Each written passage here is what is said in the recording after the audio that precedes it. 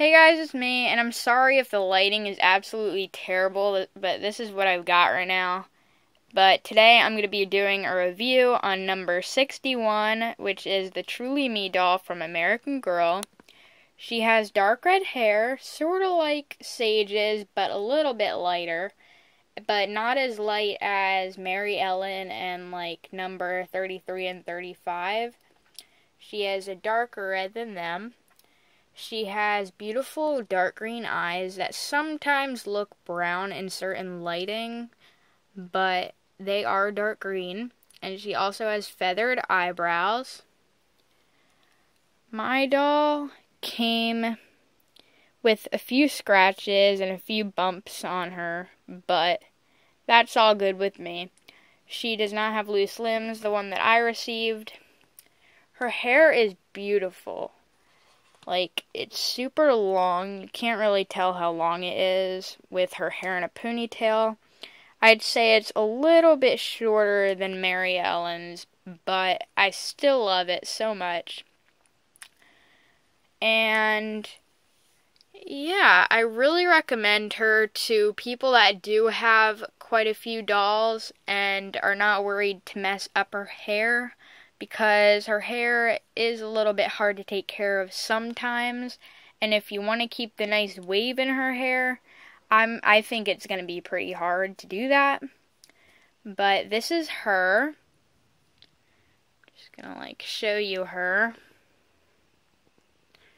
I love her a lot, but her hair does frustrate me sometimes when I'm trying to do hairstyles on her.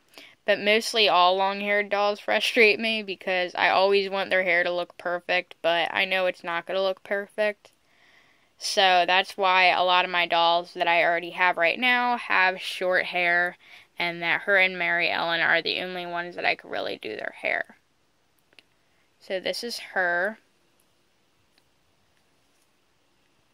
And by the way, I didn't know if you guys knew this, but this behind her is her room and it is autumn themed. And her name is Autumn. So, yeah.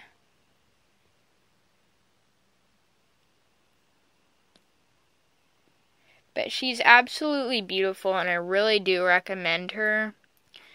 My doll came with a little shiny spot right on her shoulder. I don't know if the camera picks it up, but she has a shine spot on her shoulder, and she also has a few black dots on the back of her leg. I don't know why exactly she came with those, but she did, and I cannot stop her from having that. But I'm not one of those people that sends their dolls back if they have a little imperfection.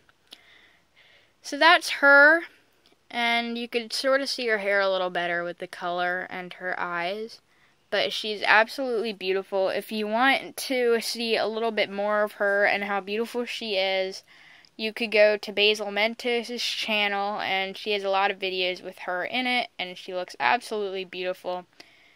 And yeah, thanks for watching. Comment, rate, subscribe, and I hope you like this video. Bye.